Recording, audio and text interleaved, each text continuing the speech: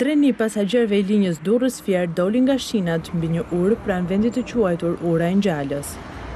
Për fat të mirë në momentin e ngjarjes mjeti i transportit nuk kishte pasagjerë në bord. Shkak i aksidentit u bë thyerja e disa tranversave ndërsa treni po kalonte mbi urë. Për pasojë lokomotiva dhe dy vagonë përfunduan jashtë shinave.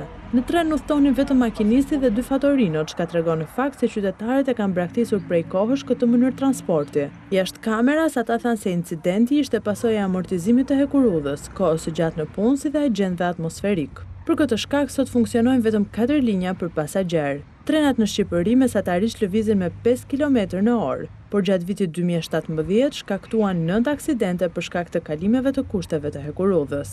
Të dhënat e INSTAT për transportin ndër vite tregojnë braktisjen e transportit hekurudhor. Në vitin dy mijë e shtatëmbëdhjetë me tren udhëtuan vetëm gjashtëdhjetë e pesë mijë e nëntëqind e tetëdhjetë pasagjerë, nga katërqind e dyzet e tetë mijë që udhëtonin në vitin dy mijë e dymbëdhjetë. Shpeshherë është folur për ndërhyrje në rikonstruksionin e hekurudhave, por që kërkojnë financime të mëdha për shkak të braktisjes dhe amortizimit.